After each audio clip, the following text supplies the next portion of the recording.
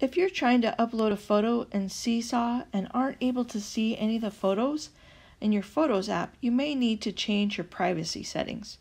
For example, in this activity, if I go to the camera icon over here on the left side and to upload, to upload photos that I've already taken, if I see this message that tells me I don't have any photos or videos, but I know that I've taken photos and videos on my iPad before, then I probably need to adjust my privacy settings.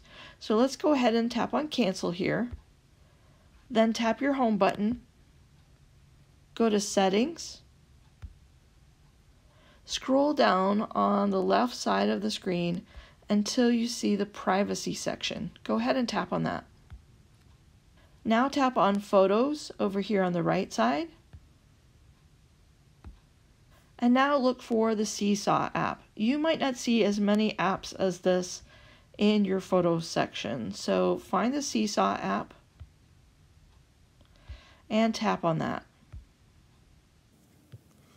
Now make sure to tap where it says all photos so that Seesaw can upload any of your photos.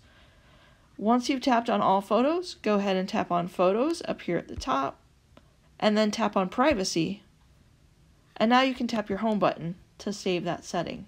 Now when I go back to Seesaw, and I go back to my activity on my activities tab, and I tap back into that activity,